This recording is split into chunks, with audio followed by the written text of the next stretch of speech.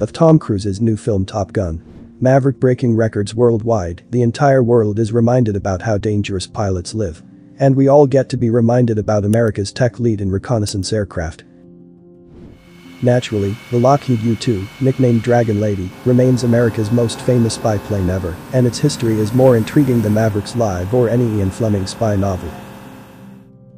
As you've probably imagined by now, the Dragon Lady is the product of the Cold War, when the globe was divided between two spheres of influence, and the two superpowers were engaged in a frightening arms race. It is worth noting that only four years after the United States dropped its first nuclear bomb, the Russians detonated their own bomb on August 29, 1949, at Semipalatinsk test site in Kazakhstan. The Lockheed U-2 was born during the Cold War. The high-altitude reconnaissance aircraft is the product of the Cold War arms race, and Americans flew it in some of the most intriguing missions. For example, in 1956, Hervey Stockman took a secret mission and flew the Dragon Lady from Wiesbaden, West Germany, right into the Soviet Union. Thanks to Stockman's efforts, Washington found out that Russia was not building missiles like sausages and was far from developing a hydrogen bomb capable of reaching the United States. Moving forward, the United States used a high-altitude reconnaissance aircraft during the Cuban Missile Crisis. Thanks to the Dragon Lady, President John F. Kennedy found out about Soviet missile installations in western Cuba, which could easily hit targets in the United States.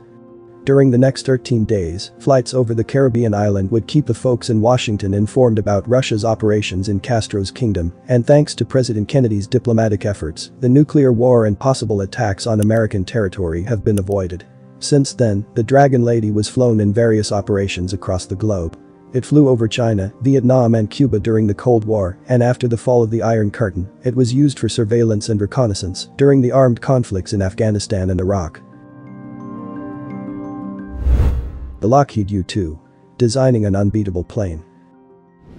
The Lockheed U-2 is a single-engine, single-seat, long-range aircraft that had a slender design, which made the aircraft more difficult to be seen. As for specifications, the Dragon Lady was powered by a turbojet engine, capable of pushing the aircraft to a cruise speed of 764 km hour or 475 miles hour.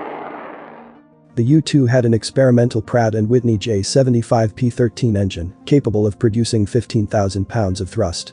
Furthermore, it had a flying range of more than 7,000 miles and could carry a payload of 5,000 pounds. Lastly, the Lockheed U-2 had a length of 63 feet, a height of 16.7 feet, and a wingspan of 103 feet. U-2's long tapered wings long one-third, the weight of what was normal at the time, allowed it to fly missions covering a range of 3,000 miles and carry up to 700 pounds of the latest photoreconnaissance equipment to a staggering and unprecedented altitude of 70,000 feet says Lockheed Martin. After the Cold War, the U-2RS were modified and revamped as U-2s. The national interest points out that the new models have refined sensors, a high-performing GPS system and more powerful F-118 engines, which generate a speed of over 500 miles per hour. A decade ago, the planes were altered again under the CARE program to lower the cabin pressure and have cleaner urine collection. Naturally, these are welcome changes for the pilots as they can enjoy a more comfortable flight.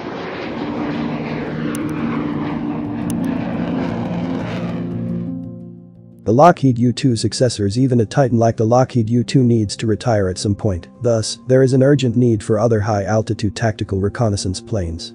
Naturally, there is already the Northrop Grumman RQ-4 Global Hawk, and Lockheed has also designed the TRX, which is a modern high-altitude, single-engine tactical reconnaissance aircraft. It is expected that the TRX will have the same intelligence, surveillance, reconnaissance, IRS missions as the U-2, according to Military Factory. Evidently, the United States has the know-how, design capability and budget to develop and manufacture tactical reconnaissance planes.